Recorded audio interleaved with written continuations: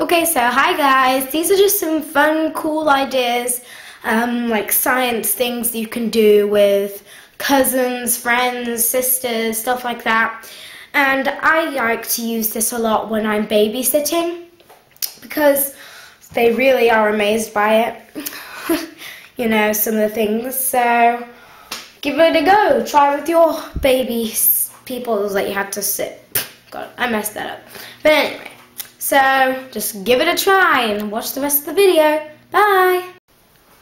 Okay, so hi guys, this is Saskia Pateman. I'm going to show you how to do a cool experiment. So what you're going to need is baking powder or bicarbonate of soda, it's the same thing. Um, a test tube or something to mix the two things together with. Um, red food colouring to make the lava. Vinegar, any type, it doesn't need to be distilled. And a beaker like this. So to start off with, you put three teaspoons of this into the beaker. That's Okay, so one.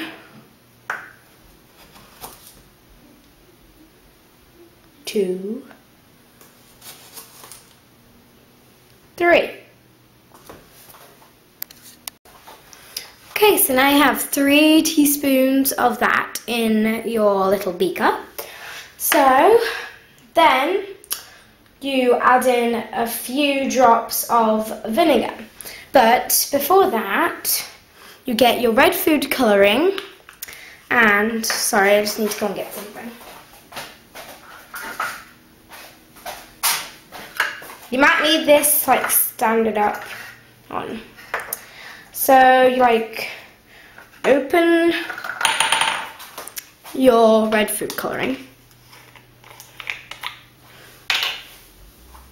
And you pour a bit of it in here. Okay, not that much, pour a little bit out. No, not too little now. Oh god.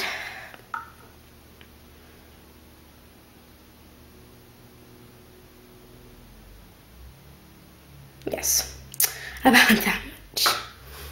Yeah, okay. So then you add in the distilled or normal vinegar to that.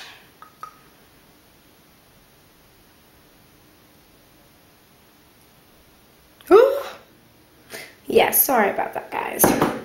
I'm kind of clumsy. So you put this on a plate or something because it might get messy and then you pour it in. I'm going to get a different camera angle so it'll look better.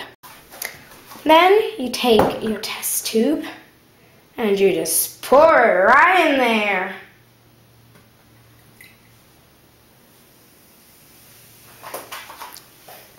Don't be worried if it takes a little bit of time to um, start, but if it really does take a long time, like just add some more vinegar, okay?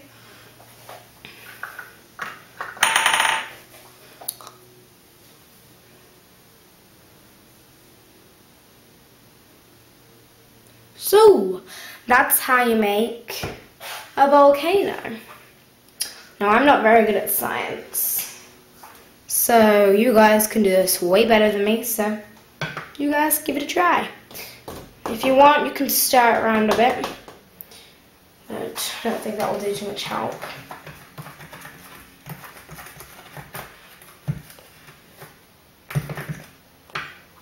You could do that and then add a bit more vinegar.